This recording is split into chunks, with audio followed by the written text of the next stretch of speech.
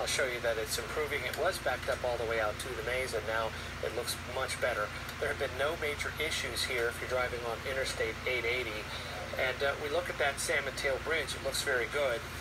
No problems there if you are driving on westbound 92. I also see that even some of these Contra Costa commutes are getting a little better, just a little bit. But if you have the option of waiting, you probably should just for a little bit to get into, let's say you're driving to Walnut Creek from Bay Point. Uh, I don't know. I, I still wouldn't go right now if it were me. I'd hold off if I could for another hour or so. 851, let's bring Steve back in with today's weather. All right, South starting.